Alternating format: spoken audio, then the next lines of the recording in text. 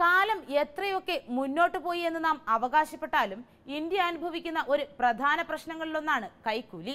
പണം വാങ്ങരുത് കൊടുക്കരുത് എന്ന് നിഷ്കർഷിച്ചിട്ടുണ്ടെങ്കിലും ഇപ്പോഴും പല കാര്യങ്ങളും വേഗത്തിൽ നടന്നു കിട്ടണമെങ്കിൽ പൊതുജനങ്ങൾക്ക് കൈക്കൂലി കൊടുക്കേണ്ട ദുരവസ്ഥയുണ്ട് എന്നതൊരു സത്യം തന്നെയാണ്. സമൂഹ മാധ്യമങ്ങളുടെ ആവിർഭാവത്തോടെ കൈക്കൂലി കൊടുക്കുന്ന രീതിയിലും വലിയ മാറ്റമാണ് ഉണ്ടായിരിക്കുന്നത്. പണ്ട് തോർത്തുമുണ്ടിന്റെ മറവിൽ പണം കൊടുത്തിരുന്ന രീതിയല്ല ഇപ്പോൾ. പകരം ഓൺലൈൻ പേയ്മെന്റ് സംവിധാനങ്ങളായ ഫോൺ പേയും ഗൂഗിൾ പേയും ഒക്കെയാണ്.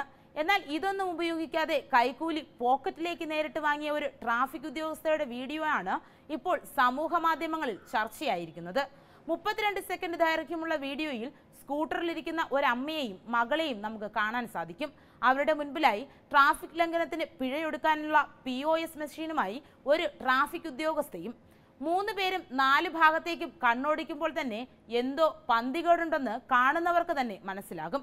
മകളോട് തന്റെ അടുത്തേക്ക് വരാൻ ട്രാഫിക് ഉദ്യോഗസ്ഥ ആംഗ്യം കാണിക്കുന്നതും മകൾ അതനുസരിക്കുന്നതും തുടർന്ന് വീഡിയോയിൽ നമുക്ക് കാണാം.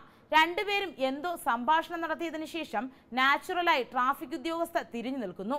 ഈ സമയം തന്റെ പോക്കറ്റിൽ കരുതിയ പണം ട്രാഫിക് ഉദ്യോഗസ്ഥയുടെ പാന്റിന്റെ പോക്കറ്റിൽ തിരികെ കയറ്റുകയാണ് ആ കുട്ടി. എന്നിട്ട് ഒന്നും അറിയാത്ത പോലെ സ്കൂട്ടറിനടുത്തേക്ക് ആ പെൺകുട്ടി നടന്നു നീങ്ങി.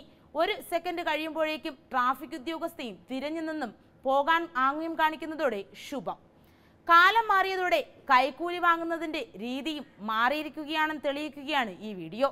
എന്തൊക്കെ മാറ്റങ്ങൾ വന്നാലും ഇത്തരത്തിൽ അഴിമതിയും കൈക്കൂലിയും നടത്തുന്നവർക്ക് അത് ഗുണമാകുകയുള്ളൂ എന്ന് ഈ വീഡിയോ കാണുമ്പോൾ നമുക്ക് മനസ്സിലാകും. Web desk Tatwamayi.